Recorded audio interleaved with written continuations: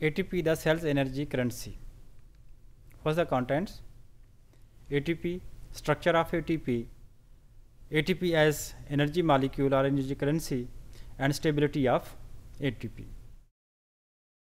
ATP students अगर ATP is is abbreviation इसका complete name जो है वो है वैसे एडिनोसिन ट्राईफास्फेट एडिनोसिन ट्राईफास्फेट या सिंपल वर्ड्स में हम इसको ATP कहते हैं ATP is a major currency of our body या आवर सेल्स हमारे सेल्स के अंदर जितने भी एनर्जी रिक्वायरमेंट्स हैं या यूटिलाइजेशन होंगी वो ATP की फॉर्म में होती हैं। करेंसी का मतलब ये है कि जैसे हम बाज़ार जाते हैं तो हम करेंसी यूज़ कर, रुपया यूज़ करते हैं, जो भी चीज़ खरीदनी है वी पे द अमाउंट इन रुपीज़ रुपये की फॉर्म में हम तो this is a currency similarly cell के अंदर जितनी भी एक्टिविटीज़ परफॉर्म होनी है, उन सब के लिए क्या होगा कि जो करेंसी चाहिए, वो एटीपी के मालिक्यूल चाहिए। आपने कोई भी काम सेल के अंदर करना होगा तो सेल के हर मालिक्यूल क्या क्या चाहिए होगा? एनर्जी चाहिए होगी। एटीपी चाहिए होगी तो वो वर्क करेगा। इसीलिए हमें क्या करते हैं कि जो एटीपी जो है it is the currency of cell energy currency of the cell है।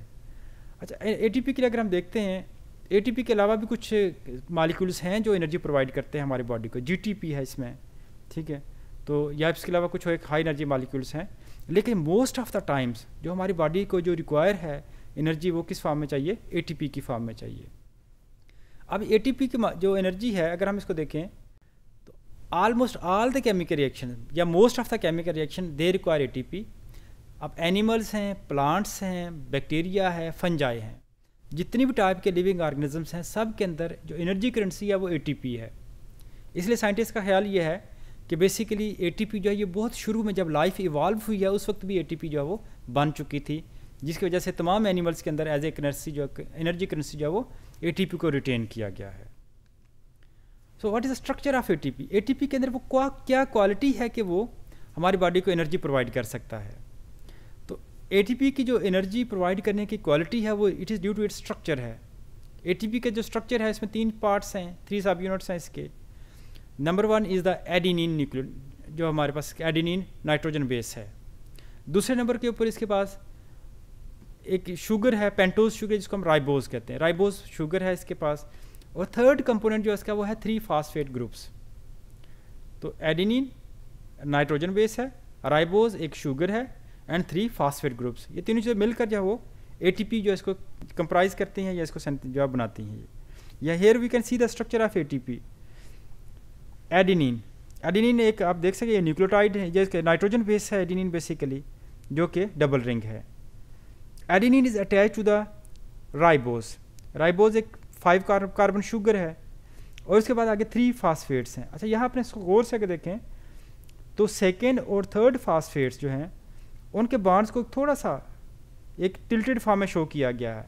ये बेसिकली इंडिकेट कर रहा है कि ये जो बॉन्ड्स हैं सेकेंड और थर्ड फास्फेट ग्रुप जिनके थ्रू अटैच हैं they are high energy bonds जब ये बॉन्ड ब्रेक करेंगे lot of energy will be obtained so अभी जो स्ट्रक्चर को देखें तो इसका मतलब ये, अगर हम ये कहें कि जो फास्फेट ग्रुप हैं, वो एनर्जी कैरी करते हैं this is not true actually जो फास्फेट ग्रुप और बाकी तीनों चीज़ें हैं, दोनों चीज़ जो है वो राइबोस शुगर है एडिनिन है और फास्फेट्स हैं। ये तीनों मिलकर क्या करते हैं एनर्जी को स्टोर करती हैं। और जब इसमें फास्फेट ग्रुप की ब्रेकडाउन होगी तो breakdown of phosphate group phosphate group चूँकि कोवलेंट बॉन्ड के थ्रू अटैच है तो इसके ब्रेकडाउन से एनर्जी रिलीज़ होगी जो एनर्जी रिलीज़ होती है it is about 3.7 kilo calories per mole यानी अगर एक मोल एटीपी को हम ब्रेक करें एटीपी को ब्रेक डाउन करें तो एडीपी बनेगा एडिनोसिन डाईफास्फेट बनेगा. तो एडीपी की बने, एक मालिक मोल एटीपी की ब्रेक डाउन से we will obtain 7.3 kilo calories of ATP breakdown को हाइड्रोलिसिस का नाम जो दिया जाता है. इस डायग्राम में आप देख सकते हैं टॉप में जब एक मालिक्यूल एटीपी ब्रेकडाउन होगी वाटर की मौजूदगी में एटीपी ब्रेक करेगी, इस वजह से हम इसको हाइड्रोलिसिस कहते हैं। हाइड्रोलाइसिस का मतलब होता है कि प्रेजेंस ऑफ़ वाटर में किसी मालिक्यूल का ब्रेकडाउन होना। तो एटीपी की ब्रेकडाउन होगी तो इससे ए बनेगा इनऑर्गेनिक फास्फेट सेपरेट हो जाएगा एंड 7.3 किलो कैलोरीज एनर्जी हमें हासिल होगी।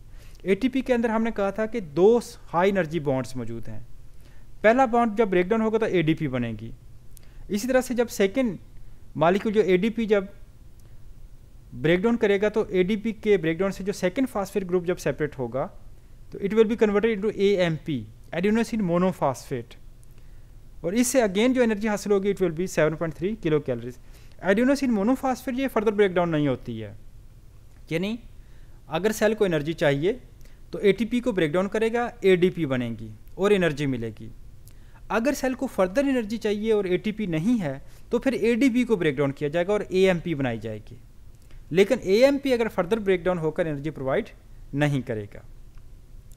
Stability of A T molecule T molecule कितना स्टेबल है? अच्छा पहले अगर हम सेल को देखें तो सेल के अंदर जो ए टी मालिक्यूल सेंटिसाइज होते हैं मोस्टली वो सेंटिसाइज होते हैं माइटोकॉन्ड्रिया के अंदर।